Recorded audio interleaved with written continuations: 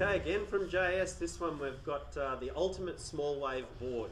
So this is called the black box. Um, definitely much, it's like a summer board or your small wave board, probably surf around the one to four foot maybe, uh, but certainly one to three foot and it'll go sensational. So again, it's a single to uh, double concave with this one, double concave running right through the tail of the board. We've got uh, a much flatter rocker on this board, so both the entry and exit rocker, especially through the exit, it's a very flat rocker through the tail, so it'll give great acceleration, great speed in small waves, carry you through those fat sections really easy where it'll just have a lot of drive itself. Uh, from JS this particular time, it's got um, a much fuller rail on it, but it's still not a boxy rail. It's sort of a fuller rail, but a much flatter deck. So it's got a flatter deck to it.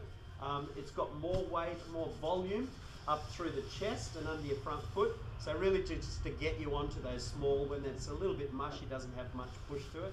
So it's got a lot of uh, drive in that one where you can get it up and going and racing really quickly.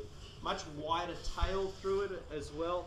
So the tail volume is much wider with a curvier outline so that you still can get it to go up and down in small waves and uh, get those re-entries in and really come off the bottom solid.